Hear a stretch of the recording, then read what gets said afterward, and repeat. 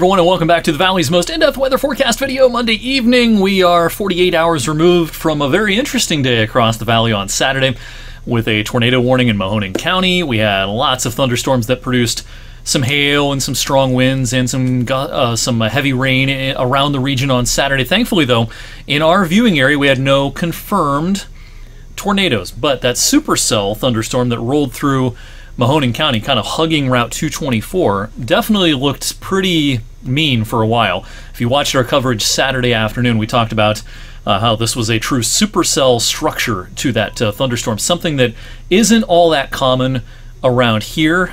Um, even if we do have supercellular structures to our storms, a lot of times they're kind of rain wrapped and kind of hard to uh, hard to see. But our Boardman camera looking west towards Canfield was able to pick out the structure really well uh, of that thunderstorm that prompted the tornado warning. Uh, and you know that that storm could have very easily dropped a tornado at any point.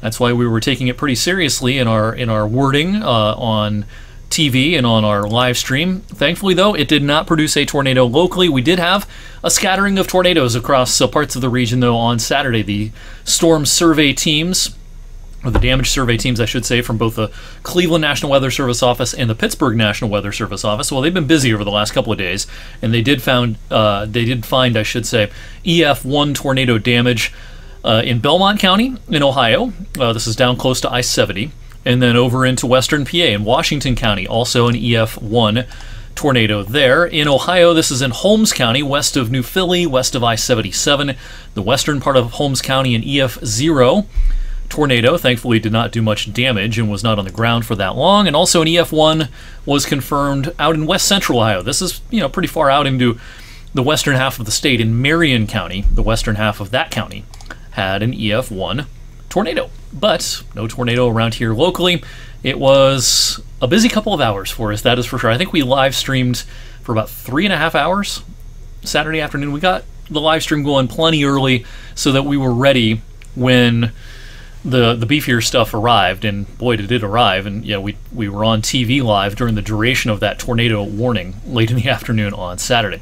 Hectic couple of hours. All right, little climate news uh, today, and this came as no surprise. We expected this, but July 2023 officially the hottest July on record globally, making it the hottest month on record globally. Look how much uh, you know real estate here is covered by this deep red everywhere you see that deep red color, that is the warmest July on record for that uh, zone. And you see all these deep red colors. And even where you don't have the deeper red, you have the paler red. It's hard to find much blue on this map, cooler than average temperatures. Now, locally, our temperatures were nothing to write home about in July. But of course, globally speaking, it was a much different story. And uh, no surprise. Uh, considering what's going on in the atmosphere with a lot of different factors, including, of course, man made global warming, but you throw on top of that an emerging El Nino in the Pacific, which warms global temperatures anyway.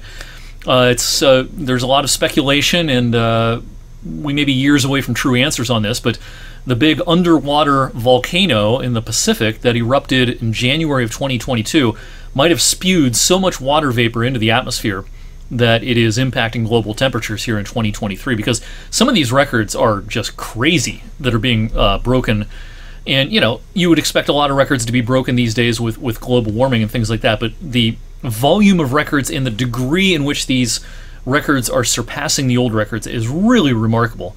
Uh, a lot of these global and regional records this year, and that underwater volcano eruption last year might have something to do with that. The the evidence of that is fairly inconclusive, but there's a lot of speculation about it right now. And again, we may be years away from really truly knowing. But you add a lot of water vapor to the atmosphere, that water vapor can act to trap in heat, and maybe that has some to do with the kind of ridiculous nature of some of these records that are being set globally here in 2023. All right, back in August of 2023, locally, it's been a wet week. Uh, at the airport, as of the issuance of the climate report, at about 5:20, we had only had a trace of rain. Now, some pl- other places have seen more. I'll show you the map in just a second. But at the airport, uh, prior to today's rain, uh, we're running, you know, over a half an inch above average thanks to the rains of the last several days. And, you know, the airport, as is sometimes the case, it's only one spot, and we've had much more rain than this in parts of our area so far in August. And 24 hour rainfall totals look like this uh, in downtown Youngstown, close to a quarter of an inch. Same thing along 224 Boardman area.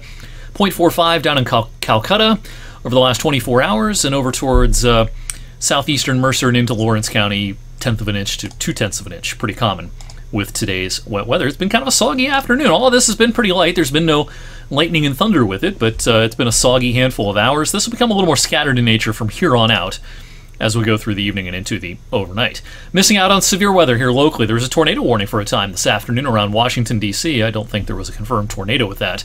There are some thunderstorms approaching western Ohio right now.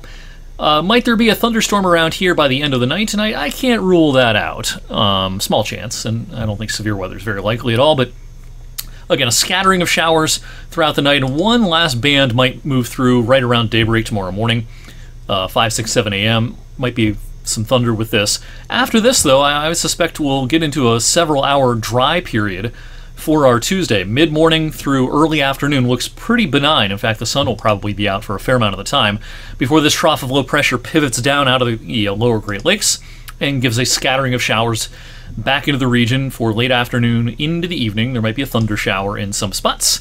Clouds will hang tough into Wednesday morning. We'll call it a mix of sun and clouds for the bulk of Wednesday, keeping a dry forecast for Wednesday, Wednesday night, and for Thursday as well. Now, our next weather makers Thursday night with this cool front. Probably not much lightning and thunder with this, but it'll probably produce some showers Thursday night.